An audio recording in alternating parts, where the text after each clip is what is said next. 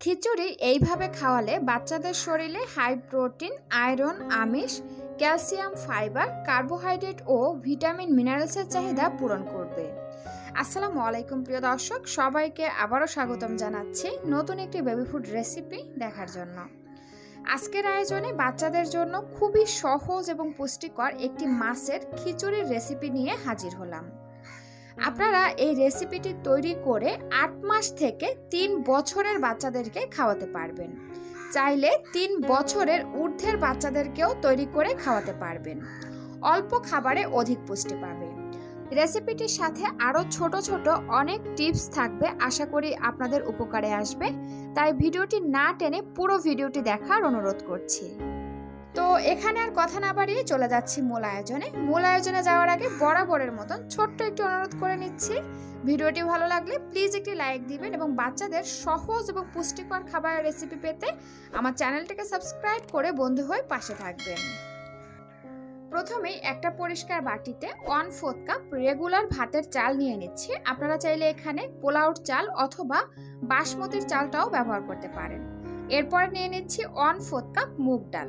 মুগ ডালের পরিবর্তে মাসকলার ডাল অথবা মুসুরি ডালটাও ব্যবহার করতে পারেন। এখন নর্মাল পানি দিয়ে তিন থেকে চারবার পানি পাল্টে হাত দিয়ে খুব ভালোভাবে কষলে চাল এবং ডাল ধুয়ে নিচ্ছি। ধুয়ে নেওয়ার পরে চাল এবং ডাল নর্মাল পানি দিয়ে ভিজিয়ে রেখে দিচ্ছি পনেরো থেকে বিশ মিনিটের জন্য।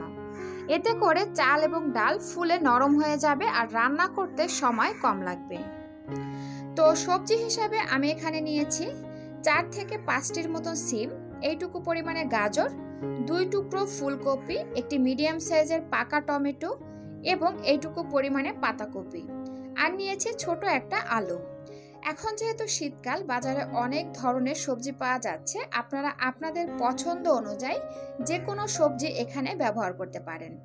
এগুলোকে আমি ছোট টুকরো টুকরো করে কেটে নিয়েছি।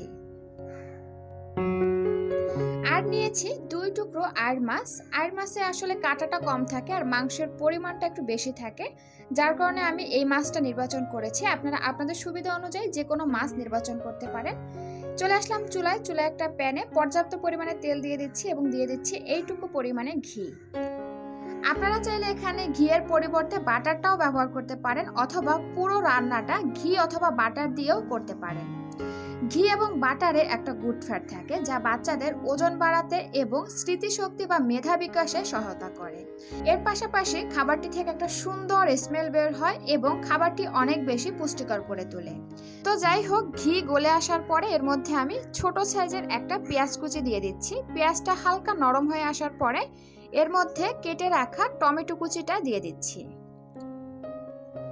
এখন টমেটোটা পেঁয়াজের সাথে ভেজে নরম করে নিচ্ছি।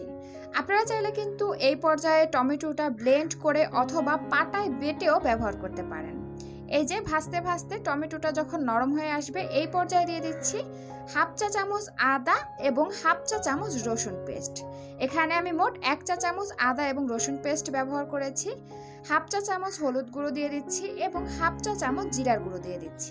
আট মাসের পর থেকেই কিন্তু বাচ্চারা সব ধরনের মশলা পাবে। তারপরেও যদি আপনি আপনার বাচ্চার খাদ্য তালিকায় এখনও এমন কোনো মশলা আছে যেটা যুক্ত করেননি, সেটা যদি আপনি দিতে না চান, তাহলে স্কিপ করে যাবেন। এখন চুলারাস মিডিয়াম আঁচে রেখে মশলাগুলো একটু কষিয়ে নিচ্ছি, যতক্ষণ না মশলার মধ্যে থাকা কাঁচা গন্ধটা চলে যাচ্ছে। এরপর এখানে স্বাদ অনুযায়ী লবণ দিয়ে দিচ্ছি। এক বছরের নিচের বাচ্চাদের খাবারে লবণটা স্কিপ করবেন। কেননা এক বছরের নিচের বাচ্চাদের কিডনি এবং লিভার অপরিপক্ষ অবস্থায় থাকে। আর এই সময় যদি আমরা তাদের খাবারে অতিরিক্ত বা বাড়তি লবণ দেই, তাহলে কিন্তু তাদের কিডনিতে ক্ষতিকারক প্রভাব ফেলতে পারে। তাই লবণটা বাচ্চার খাবারে যুক্ত না করাই ভালো। যদি বাচ্চা লবণ ছাড়া একেবারেই খাবার খেতে না চায়, সেই ক্ষেত্রে সামান্য পরিমাণে লবণ অ্যাড করতে পারেন মশলার মধ্যে মাছ দিয়ে একটু কষিয়ে নিয়ে সামান্য পরিমাণে পানি অ্যাড করে দিলাম।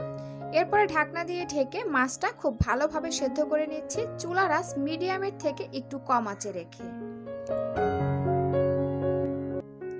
আট থেকে দশ মিনিট জাল করে মাছগুলো খুব ভালোভাবে কষিয়ে সেদ্ধ করে নিয়েছি আর মাঝে মধ্যে ঢাকনাটা তুলে দুই থেকে তিনবার একটু নেড়ে চেড়ে দিয়েছি। এখন মশলা থেকে মাছ তুলে নিচ্ছি।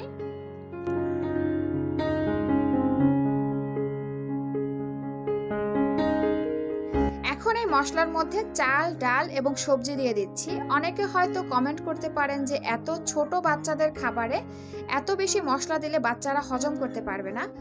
আসলে আমি এখানে যে পরিমাণে চাল, ডাল এবং সবজি নিয়েছি, তার জন্য এইটুকু পরিমাণে মশলা দরকার। কারণ একদম যদি মশলা না দেওয়া হয়, তাহলে কিন্তু খাবারটি তেমন একটা মজা হবে না আর তখন কিন্তু বাচ্চারা খেতে চাইবে না। তারপরও আপনারা এখানে চাল, ডাল এবং সবজির পরিমাণটা কমিয়ে অথবা বাড়িয়ে দিলে, সেই ক্ষেত্রে কিন্তু মশলার পরিমাণটাও কমিয়ে বাড়িয়ে ব্যবহার করবেন। তো যাই হোক, এখন চাল, ডাল, সবজি এই মশলার সাথে দুই থেকে তিন মিনিটের মতন কষিয়ে নিচ্ছি। কষিয়ে নেওয়ার পরে এর মধ্যে দিয়ে দিচ্ছি পর্যাপ্ত পরিমাণে পানি যাতে চাল, ডাল এবং সবজি খুব ভালোভাবে সেদ্ধ হতে পারে।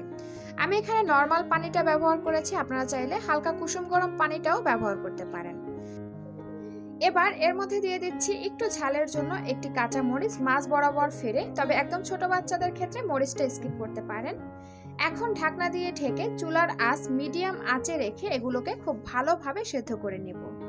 আর মাঝে মধ্যে এসে ঢাকনাটা তুলে একটু নেড়েচেড়ে দিতে হবে, তাহলে সবজিটা এপাশ ওপাশ, দুই ওপাশ খুব ভালোভাবে সেদ্ধ হবে। তো বেশ কিছুক্ষণ জাল করে এগুলোকে আমি রান্না করে নিয়েছি। এখন চাল, ডাল, সবজি খুব ভালোভাবে সেদ্ধ হয়ে গিয়েছে। আসলে এগুলো সেদ্ধ হওয়ার যে একটা টাইম সেটা বলাটা একটু টাফ কারণ কি অনেক ধরনের চাল আছে যে, যেটা খুবই অল্প সময় সেদ্ধ হয়ে যায়, আবার অনেক ধরনের চাল আছে যেটা একটু সেদ্ধ হতে সময় বেশি লাগে। তাই সেটা বুঝে আপনারা এখানে পানির পরিমাণটা দিবেন। প্রয়োজন হলে আরও একটু পানি দিয়ে চাল ডালটা খুব ভালোভাবে সেদ্ধ করে নেবেন। তো আপনারা নিশ্চয়ই লক্ষ্য করেছেন যে, এর মধ্যে থাকা কাঁচা মরিচটা আমি উঠিয়ে ফেলে দিয়েছি। এখন খিচুড়ির মধ্যে বেছে রাখা মাছ দিয়ে দিচ্ছি। মাছটা খুব ভালোভাবে বেছে নিতে হবে যাতে এর মধ্যে কোনো কাটা না থাকে, সেদিকটা একটু লক্ষ্য রাখবেন।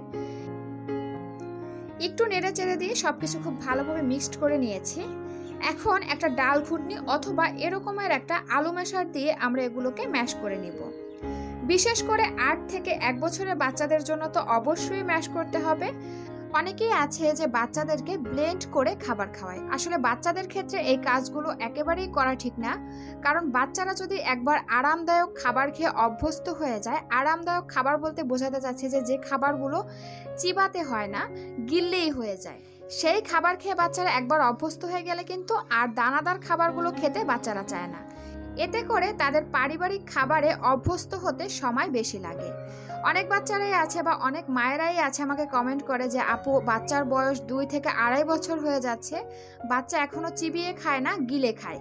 বাচ্চাকে একেবারে ম্যাশ করে তারপরে খাবার খাওয়াতে হয়। তো এজন্যই বলছি যে, ছোটবেলা থেকেই যদি বাচ্চাদেরকে একটু দানাদার খাবার খাইয়ে অভ্যস্ত করেন, তাহলে কিন্তু খুব তাড়াতাড়ি আমাদের পারিবারিক যে খাবারগুলো আমরা রান্না করি প্রতিনিয়ত, সেই খাবারের সাথে বাচ্চারা অভ্যস্ত হয়ে যাবে। তো যাই হোক, আমি এভাবে হালকা দানাদার রেখে ম্যাশ করেছি। আপনারা চাইলে এর থেকে আরও একটু ম্যাশ করে নিতে পারেন বা আরও একটু দানাদার রাখতে পারেন, এটা আপনাদের ইচ্ছা। কারণ আপনি মা, আপনি বোঝেন যে আপনার বাচ্চা কোন ধরনের খাবার খেয়ে অভ্যস্ত।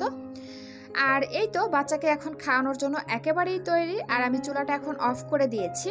তো আপনারা যদি বাচ্চাদেরকে এইভাবে মাছ দিয়ে খিচুড়ি রান্না করে খাওয়ান, বিশেষ করে যে সকল বাচ্চারা মাছ খেতে অনীহা দেখায়, তাদেরকে এই রেসিপিটি তৈরি করে খাওয়াতে পারেন। তারা মাছ খাবে কিন্তু মাছের গন্ধ পাবে না। এই খিচুড়িটা বাচ্চাদেরকে সকালে, দুপুরে কিংবা রাতের প্রধান খাবার হিসাবে দিতে পারেন। সকালে এবং দুপুরে দিলে সাথে একটু লেবু যুক্ত করে দিবেন আর হালকা কুসুম গরম বাচ্চাকে খেতে দিবেন, তাহলে বাচ্চা মজা করে খাবে। আর রাতের বেলায় দিলে লেবুটা অ্যাড করবেন না, কারণ রাতে লেবু খাওয়ালে বাচ্চাদের পেটে গ্যাস হয়। তো আশা করি আমার আজকের আয়োজনটি আপনাদের কাছে ভালো লেগেছে। যদি ভালো লাগে প্লিজ একটি লাইক দিবেন এবং বাচ্চাদের জন্য সহজ এবং পুষ্টিকর খাবারের রেসিপি পেতে আমার চ্যানেলটিকে সাবস্ক্রাইব করে বন্ধু হয়ে পাশে থাকবেন। সবাইকে অসংখ্য ধন্যবাদ জানিয়ে আজকের ভিডিওটি এখানেই শেষ করছি। আল্লাহ হাফেজ।